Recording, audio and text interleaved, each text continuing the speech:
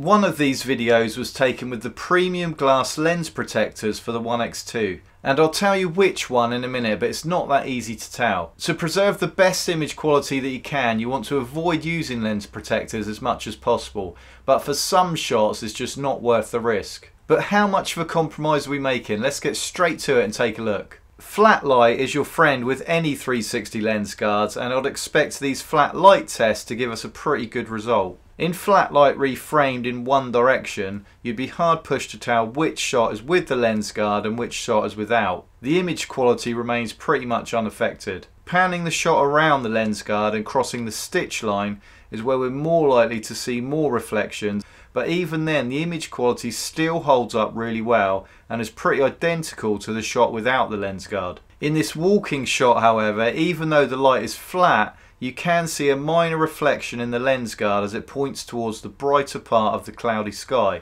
and your eye gets drawn to it more because the camera is moving. And that reflection is falling across the edge of the lens guard itself and we can see that more clearly if I go into the app and toggle the stitch for premium lens guards on and off. So flat light is your friend with this lens guard. It goes without saying that harsh sunlight is definitely your enemy. And it will usually degrade your image with reflections, refractions and ugly lens flares. Reframing in one direction however, away from the sun, the image quality is unaffected and again hard to distinguish from the shot taken without the lens guard.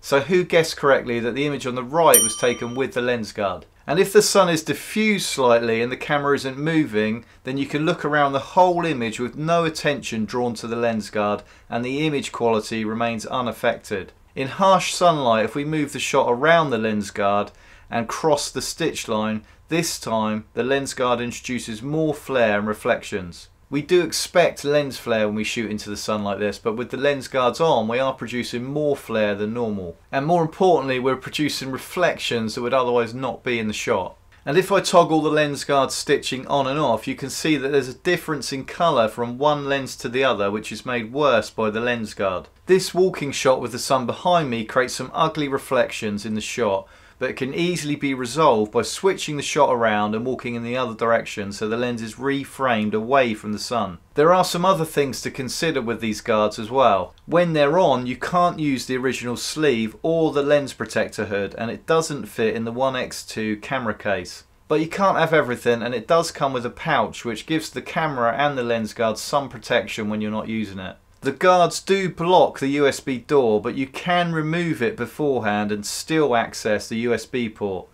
But even with the USB door removed though, you still can't use the 1X2 mic adapter as the guard gets in the way. You can use these lens guards underwater to a depth of 10 meters, but they're only designed for single lens use, so reframing through one lens. In some situations with these lens guards, we are compromising image quality, but we do have to remember why we're using these lens protectors in the first place, and that's to protect our lenses. So are these premium lens guards premium enough for you? Let me know in the comments. My name's Rich, thanks for watching and I'll see you in the next video.